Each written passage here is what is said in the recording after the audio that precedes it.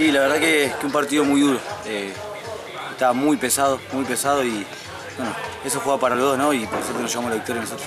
Bien, eh, en este caso con un gol tuyo nuevamente, como en el partido anterior eh, en San Carlos Centro, hoy en San Carlos Sur también haciendo el gol de la victoria, que eso también me imagino que es de lo personal, eh, es también importante para vos. Sí, ni hablar, ni hablar. Siempre para un delantero es lindo hacer goles, es lindo estar presente en los clásicos también porque uno queda afuera por ahí, siempre estaba el, el que esa pica de querer eh, permanecer eh, en el club, esa pica de, de querer eh, hacerse presente en los clásicos y bueno, yo ya estoy hace tiempo acá y es lindo, es lindo darle alegría a la gente, es lindo sentirme parte de este club, de este grupo y, y bueno, pagarlo con goles mejor todavía.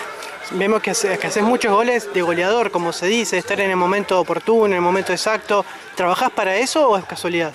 No, no, eh, la verdad que, como le decía a tu colega, yo intento eh, primero eh, hacer un trabajo en equipo, eh, generando presión alta, generando lo que me pide el técnico, que es molestar a los defensores, que no jueguen limpio, que no tiren los pelotazos limpios.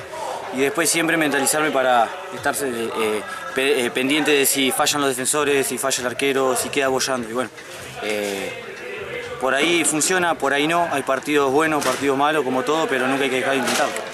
Con esta victoria se aseguraron el primer puesto, sabemos que todavía queda una fecha, sabemos que los cruces son una historia aparte, pero qué mejor que, estar en el primer lugar y que clasificar de esa manera. Sí, nosotros vamos partido a partido, siempre eh, eh, programando lo que va a ser la siguiente fecha, sin mirar la tabla. Algo que nosotros nos proponemos es eh, no, no pensar en cómo estamos, no pensar cómo está el rival, siempre pensar en que en trabajar el partido, ir a un partido y, y ahora bueno, pensar en López, preparar ese, ese duelo y sacarlo de la mejor manera para llegar bien pisado para los cruces. Pero Galle, la última, sabemos que este torneo es muy exigente de lo físico, ¿cómo estás vos? ¿Cómo está el resto del equipo? Estamos bien, estamos bien, estamos laburando eh, muy, muy ordenadito, estamos metiendo hielo en la semana, estamos metiendo trabajo regenerativo, trabajo de fuerza.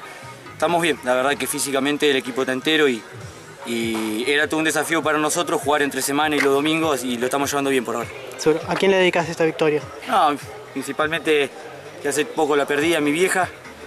Cada partido, cada gol que hago son para ella y siempre con, esa, con eso lindo cada partido, ¿no?